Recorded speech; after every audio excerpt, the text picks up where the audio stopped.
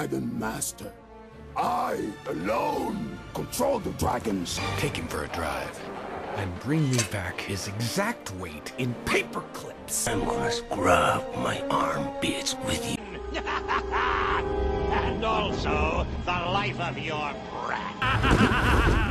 now everyone will know the truth of your divinity. They let me live, provided I kill all of you before they get here. They should be here shortly. Now, you're going to stay here forever.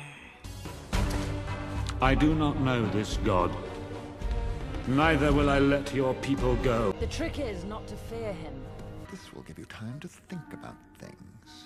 And to make sure you think without distractions. I'm going to remove your little pet and send it to the work. Because the sweet little Pokemon you used to know doesn't exist anymore. It's over, Simba. I have dreamed of nothing else for years.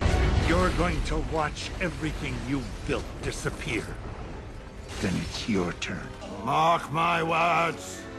You and your family will die within a fortnight. I said no! Don't ask me again!